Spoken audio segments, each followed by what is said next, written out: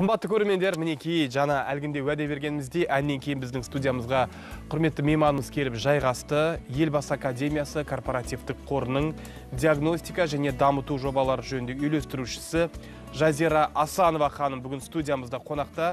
Жазира қайырлы таң қош келдіңіз.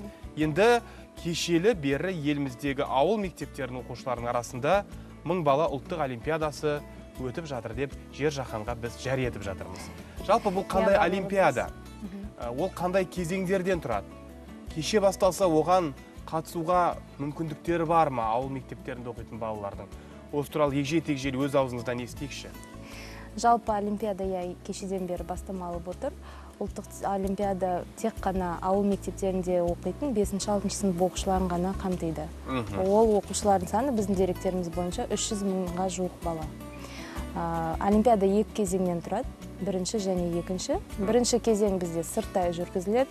Сырттай дегеніміз ол олимпиадаға балалардың қатысуы көзделмеген. Яғни біз тек қана деректерді ғана жинаймыз.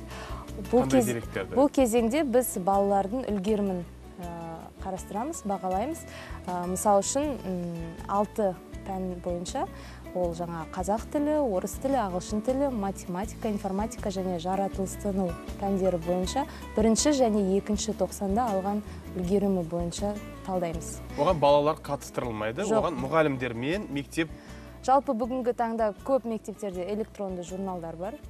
Электронды журнал жоқ мектептерде қағаз журналдар бар. Сол журналдарда қазіргі таңда бірінші екінші тоқсанның бағалары қойылып бітті ғой а, жаңағы желтоқсан айында. Енді сол бағаларды біз алып талдап отырмыз қазір. Сарапшылармен бірге сол бағаларды таңдап болғаннан кейін барлық тізім балалар тізімі жаңағы 300 мың оқушы ұлттық дерекқор а, дерекқор базасымен сәйкестендіріледі. Бұл ауыл мектептері тек қана. Тек қана ауыл мектептері иә. Сол сәйкестендіруден өткеннен кейін біз, біз жоғары ұпай жинаған 5000 оқушыны іріктейміз. Сол оқушылар екінші кезеңге жолдама алады. Екінші кезең а, облыстық орталықтарда өткізіледі тестілеу болады.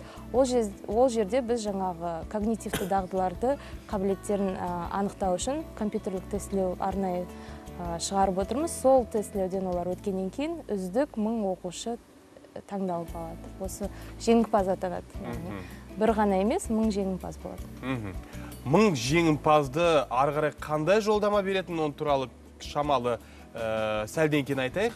Ал енді ә, жазира ханым айтыңызшы бұл жалпы жобаның мақсаты не? Негізгі мақсаты?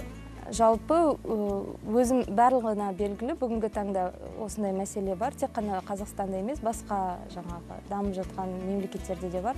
Ауыл мен қала арасындағы мектептердің алшақтығы иә, білім беру деңгейінде.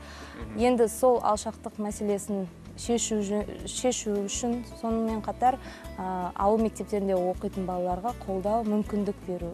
Яғни жоғары э, жоғары деңгейде білім алу одан кейін оларды ары қарай сүйемелдеу. Яғни тек қана олимпиадаға қатыстырып қана қоймай барлық олимпиада қатысушыларын біз ары қарай сүйемелдейміз. А, білім а, білім деңгейін жоғарылатамыз. Ол біз үшін тағы бір аналитиканың бір түрі. Өйткені бізде ауыл мектептеріне арналған басқа да жобалар бар. Біз олимпиада арқылы қандай мектептерге методологиялық көмек керек екенін де анықтаймыз. Сондай да талдау жасаймыз ары қарай. Олимпиаданың нәтижесінде. мың бала ұлттық олимпиадасының негізгі өтуінің мақсаты осында жатыр дейсіз ғой енді. Балалардың жаңағы балаларға мүмкіндік беру ауыл мектептерінде оқитын балаларға мүмкіндік беру. Енді жалпы елбасы академиясы корпоративтік қорымен бұл жұмысты кіммен бірлесіп атқарып отырсыздар? Министрлікпен ғой демек иә әрине білім және ғылым министрлігімен одан кейін жаңа жергілікті басқару органдарымен бірлесіп жұмыс атқарамыз. Өйткені ол жаңа балалардың мәселе балаларға қатысты болғаннан кейін барлығымыз бірлесе атқарамыз. Енді ауыл мектептерінің бесінші алтыншы сыныптарында оқитын 300 мыңнан астам оқушысы қабілеттерін сынайтын болады деп айтып жатырмыз. Оның ішінде 5 мыңды іріктеп алып сол 5 мыңнан мың бала жеңімпаз болады. Дұрыс. Мың жеңімпаз бала ары қарай қайда жолдама бересіздер? Жалпы тағдыры не болады ары қарай? Жалпы мың үздік жеңімпаз оқушыға біз еліміздің сапалы дарынды балаларға арналған мектептеріне жолдамаға жолдама алуға мүмкіндік береміз. Яғни ол мысалы үшін дарын мектептері одан кейін білім инновация лицейлері бар. Одан кейін республикалық физика математика мектептерінің филиалдары бар. Осы секілді мектептерге жолдама береміз. Ол жерге олар білім алатын уақытын э, білім алу уақытында оларды қосымша ментор беріп сүйемелдейміз. Өйткені әрбір балаға осылай э, қа- э, сүйемелдеу қарастырылған. Мхм яғни бала сол жақта егер мектеп интернат болса сол жақта жатып оқиды. Иә. Э, кәдімгі толықтай білім алып шығуға жалпы ә, мың баланың ата анасына біз тізім береміз. Еліміздегі ә, дарынды балаларға арналған мектептердің тізімі беріледі. Сол жерлерге осындай мектептер бар. Осы жерге барып оқуға таңдайды, мүмкіндік иә. бар деп біреу береміз талдықорғанды таңдайды Иә. біреу алматыны таңдайды ата аналар жаңағы қай жерге ыңғайлы болады сол жерге балаларын береді. Оған қосымша мың оқушыға нұр сұлтан қаласында жазғы мектеп қамтам ә, жазғы мектеп курстары бізде ұйымдастырылатын болады. Одан кейін күзгі уақытта тағы да демалыс лагерлері ұйымдастырылады. А жалпы ә, олимпиадаға қатысып жатқан 300 мың оқушыға бізде академияда жаңағы онлайн даму платформамыз бар ел үміті деген. Сол жерге ә, сол жерге біз оларға ә, жаңағы ваучерлар береміз. Ол жерде олар онлайн курстан қашықтықта оқытудан ары қарай білімін жетілдіре береді. Иә өте қызықты бастама екен. Ауыл мектептерінде оқитын әсіресе балаларға.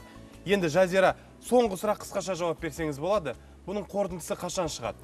Бірінші кезең қорытындысы 10 наурызда шығады. Екінші кезеңнің қорытындысы ә, 11 мамыр күні шығады. 11 мамыр күні осы мың баланың тағдыры айқындалады Иә. демек. Ұлттық олимпиаданың жеңімпаздары айқындалып ары қарай ата аналар өздері шешім қабылдай жатар. Иә. рахмет бүгін студияға келгеніңізге алғыс білдіреміз. Қымбатты көрермендер мінекей ауыл мектептерінің балаларына ұйымдастырылып отырған үлкен мүмкіндік. Мың бала ұлттық олимпиадасы басталды. Ендеше осы олимпиадаға бір кісідей атсалысып мың баланы анықтауға бізде қол ұшымызды беруге тырысайық. Рахмет. Рахмет. Енді бізде дәл қазір жарнама. Одан кейін қымбатты көрермендер ұлттық арнада қайта жүздесеміз.